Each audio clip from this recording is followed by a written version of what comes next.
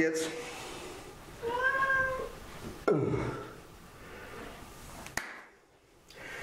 Hallo YouTube.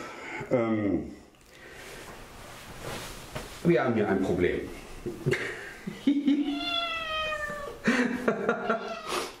ja, genau.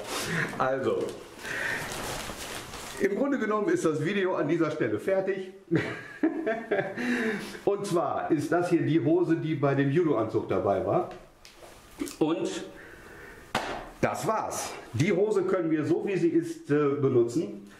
Ich habe vor 10, 12, 13 Jahren mal drei Hosen dieses Typs gekauft, habe sie in der Waschmaschine mit äh, brauner Stofffarbe gefärbt. Und diese Hose begleitet mich bis heute oder alle drei, dass man mal wechseln kann. Äh, da ist nichts dran, da kommt nichts bei, da reißt nichts kaputt. Die Dinger sind unkaputtbar vom Stoff her.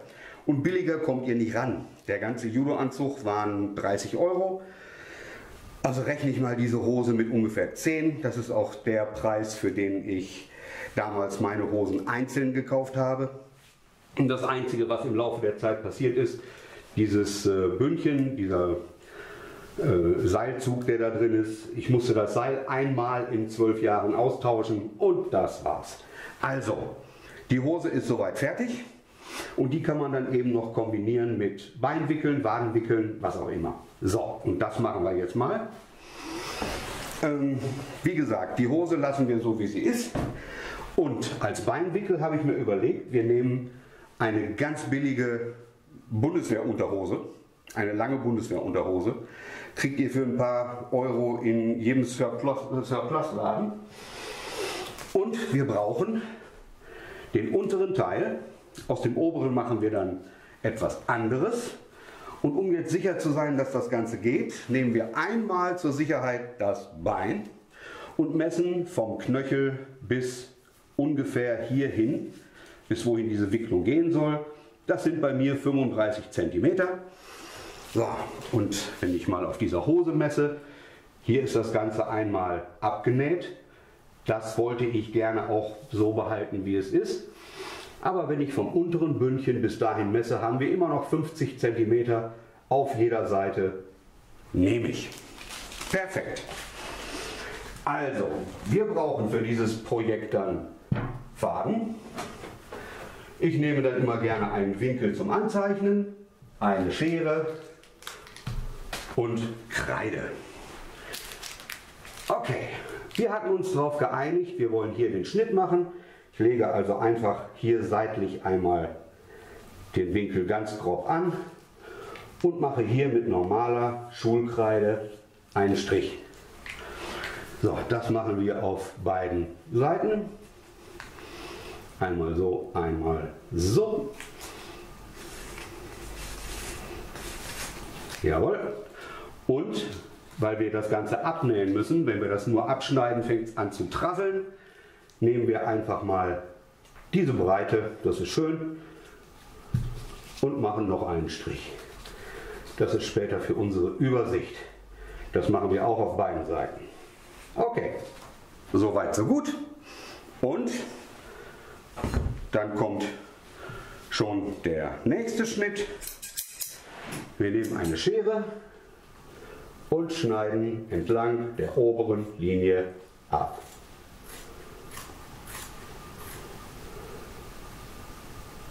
Einmal und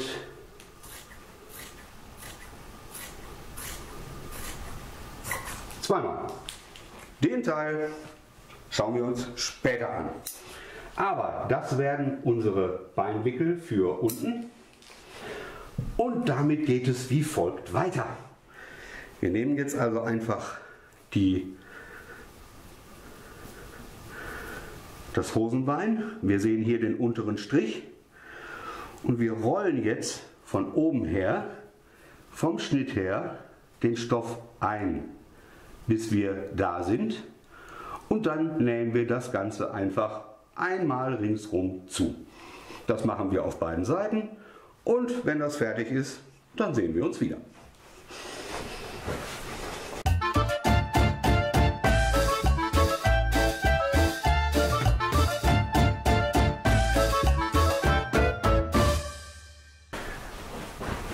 Die Bündchen sind vernäht, das Ganze ist immer noch schön elastisch. So, und wir haben jetzt in der Gesamtlänge gerade mal 4 cm auf beiden Seiten verloren. Das ist gut. 35 cm brauchen wir als Gesamtlänge. Ja, so viel zum Thema Beinwickel. Jetzt ziehen wir das Ganze mal gemeinsam an und dann schauen wir einfach mal, ob das dabei rauskommt, was ich mir vorgestellt habe. Soweit, so gut. Nähen ist beendet. Die Schuhe, die ich euch schon vorgestellt habe, sind am Start. Die Hose habe ich an. Also, sie ist, wie man sieht, etwas zu lang, aber das ist perfekt. Das ist genau das, was wir brauchen. Zumindest ist es das, was ich mir ausgedacht habe. Ob es funktioniert, sehen wir jetzt. Also, wir nehmen jetzt diese Beinwickel, die wir genäht haben. Die haben eine Längsnaht. Die nehmen wir nach hinten und ziehen sie an.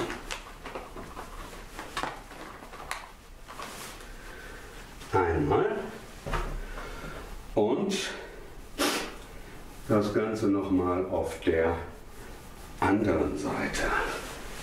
So. Siehst du? Fertig.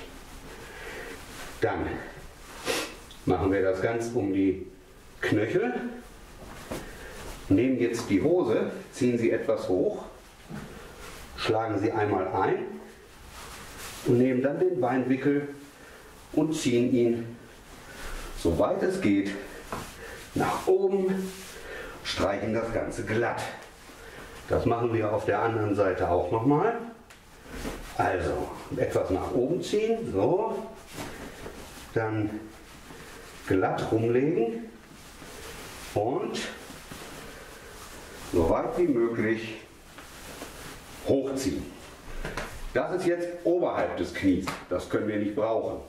Aber im, Film, äh, im Spiel ist ja ebenfalls zu sehen, dass das Ganze etwas nach unten gekrempelt wird, um hier unten etwas mehr Volumen reinzubringen. Und das machen wir auch. Wir krempeln es also wieder runter, bis wir hier etwas oberhalb des Wadenmuskels sind.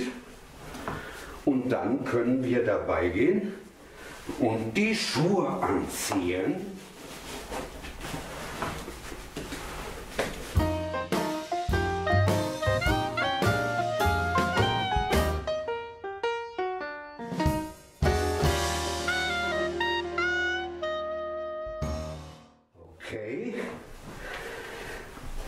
Und wenn wir jetzt unterhalb des Knies das Ganze etwas aufbauschen, et voilà,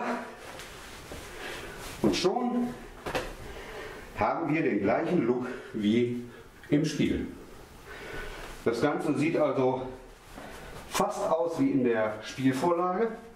Wenn es noch etwas bauschiger werden soll, zieht man es ganz einfach noch etwas nach oben und der Rest oberhalb der Wicklung und der Unterschenkel ergibt sich dann von selber. Und schon haben wir den gleichen Look wie im Spiel. Ich denke mal, günstiger und schneller kann man da nicht mehr rankommen. Und insofern, ich empfehle das Ganze nachzubauen, wenn ihr diesen Look haben wollt. Man kann natürlich mit anderen Beinwickeln da noch schöner arbeiten. Da werden auch noch äh, Ziernähte und ähnliches draufkommen. Aber im Großen und Ganzen ist das Ganze erledigt. So, wir haben jetzt also für 10 Euro plus, ich sag mal 2 Euro für eine alte Bundeswehrunterhose die Hose erschlagen. Das Ganze wird natürlich noch gefärbt. Da werden eventuell noch Längsstreifen drauf genäht, nach dem Färben. Aber das sehe ich dann. Wie gesagt, das Färben kommt ganz am Schluss, wenn ich alle Teile fertig habe, um da mit möglichst wenig Farben möglichst viel zu erreichen. Insofern, das soll es auch schon von der Hosenfront gewesen sein. Ich wünsche euch viel Spaß damit. Bleibt kreativ, bleibt mir gewogen und ich hoffe, man sieht sich dann bald wieder, wenn es weitere Modesünden aus Novigrad für die Welt des Witchers gibt. Bis dann, gehabt euch wohl.